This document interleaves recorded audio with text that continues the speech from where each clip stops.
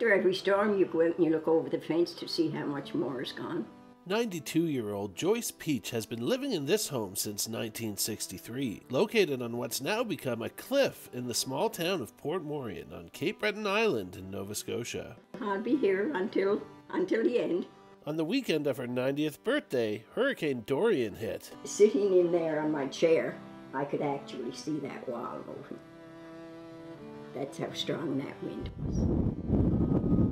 These days, it's not hurricanes, but unseasonably mild winter weather that's making it easier for her backyard to erode. Nothing is freezing up anymore. There's no frost in the ground. She says she's leaving here feet first, so who am I to, to tell her different? Uh, uh, this is her home since 1963. Joyce's son Stan says that the pipe that hangs out now dangling over the cliff, he can remember his father digging the drain for that pipe. The fence has been moved in about four times since I've been here in 63. This property at one time was 70 feet wide by 120 feet back.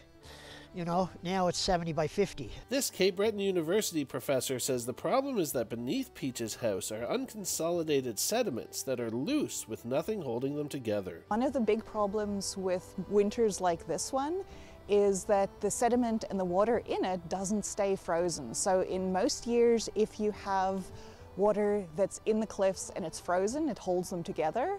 But this year we've been up and down over zero degrees in both directions a lot. When the water melts, it wants to go to the ocean, causing extra erosion, something Peach's insurance company is taking note of, saying now her oil tank is even too close to the water. They've given her until June 28th to move it or they're going to cancel her insurance. As for Joyce, she maintains she's not going anywhere. I am planning on staying here until the end. I have no intentions of moving. I think she might be telling the insurance company where to go. For now, when big storms hit, she's just planning to do what she's always done hang on tight.